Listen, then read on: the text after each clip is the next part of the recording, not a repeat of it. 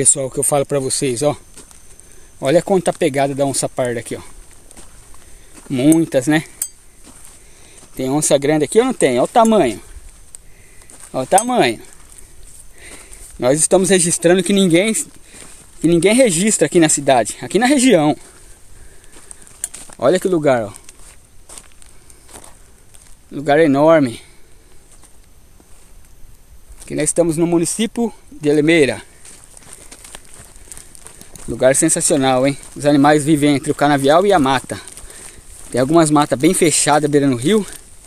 É esses lugares aí que os animais andam. Olá pessoal que acompanha meus vídeos, que acompanha meu canal. Bom, estou de novo aqui na mata. Hoje vim recolher as câmeras de trilha.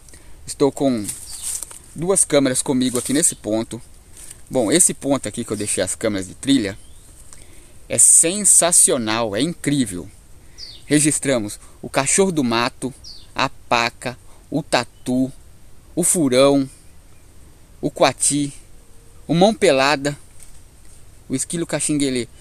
Só nessas duas câmeras aqui, viu? Só nessas duas câmeras. Tem mais de seis espécies. Aqui tem três pés de abacate. Esse local aqui, felizmente, é um lugar preservado. Por mais que tenha muito canavial em volta, é preservado, pois é uma fazenda. E o dono aqui, o proprietário, o administrador, ele não permite caça. Ele autoriza eu colocar as câmeras de trilha aqui. Ele gosta de animais selvagens também. E eu já tive até uma informação que tem um lobo-guará que está andando por aqui. Lobo-guará. E eu vou registrar ele também, hein? Vou registrar tudo em prol da preservação. Bom, e deu 171 arquivos aí nessa câmera aí.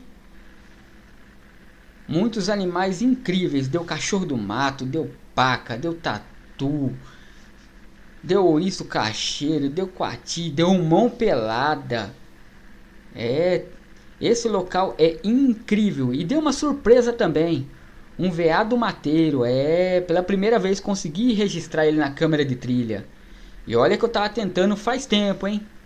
Então fiquem com as imagens das câmeras de trilha.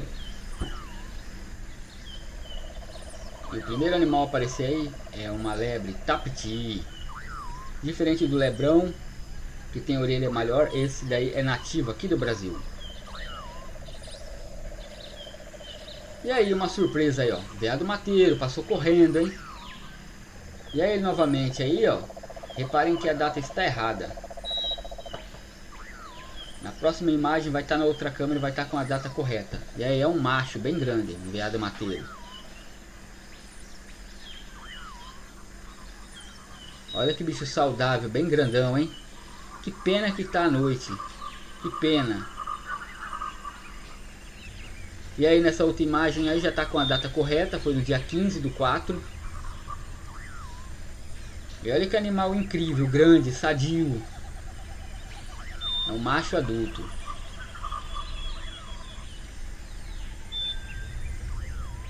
E aí um tatu galinha e um ouriço cacheiro. Repare o comportamento do ouriço cacheiro. Chegou a levantar os pelos e foi embora.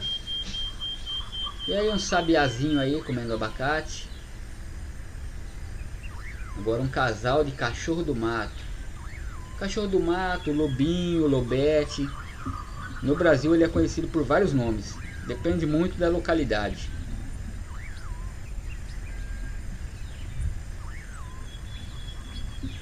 E aqui em minha região tem bastante desse animal aí.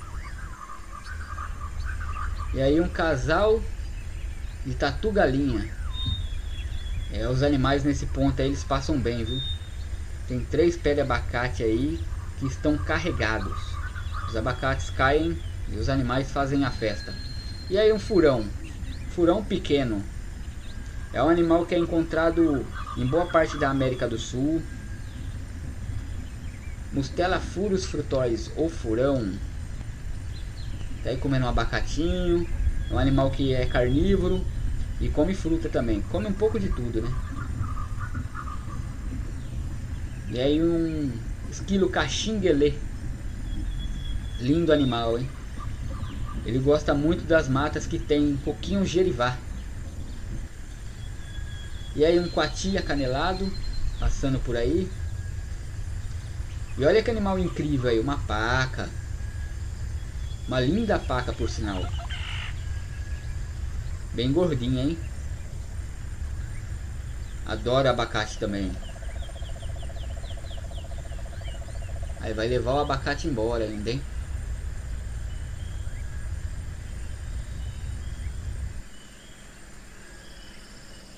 E aí um sabiá e uma saracura. Sabiazinho comendo abacate. Esse ponto dá muitos animais, muitos mesmo.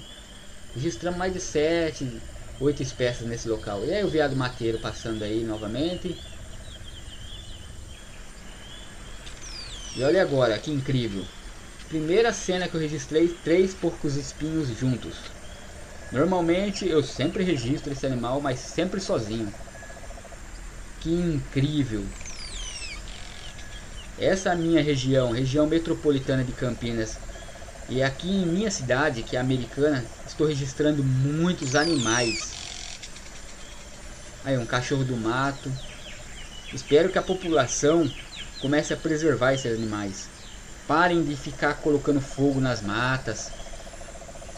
Além de fazer mal para o próprio ser humano, fazem mal para essas belezuras aí da vida selvagem. E aí um esquilinho caxinguelê. Tá aí nesse ponto aí. Reparem que ao fundo tem uma queda d'água ali. Tem bastante água limpinha. E aí outro esquilo caxinguelê aí comendo abacate.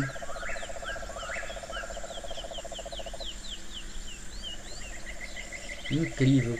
A natureza é fantástica. E aí uma paca aí, ó. No mesmo local que estava o esquilo. É um animal muito caçado. E eu estou me surpreendendo muito com esse animal aqui na minha região. Todo local que eu coloco a câmera sempre tem paca.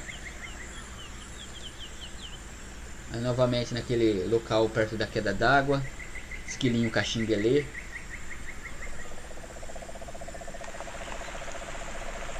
E aí esse dia estava chovendo bastante. Às 10 e 3 da noite. O tatuzinho passou aí. E aí o ouriço se coçando. Vai comer um abacate.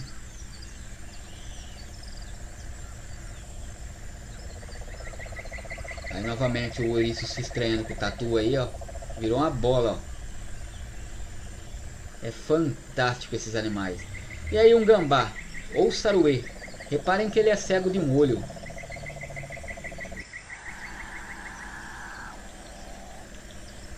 E aí um casalzinho de cachorro do mato novamente aí, ó. Lobinho, lobete aí, ó. Se estranhando pelo alimento, tem bastante alimento por aí. E aí o mão pelada ou guaxinim sul-americano. Ele é parente do guaxinim americano, né? Mas esse daí é brasileiro, ó. Tá aí comendo um abacate. Já registramos esse animal comendo muito tipo de fruta. Principalmente jaca, porque tem bastante jaca nessa região aí também. Tá com bastante fome, ó.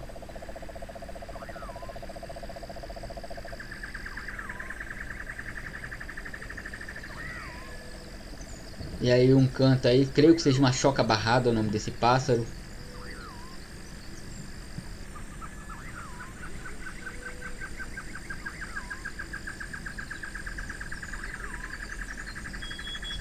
Lindo canto.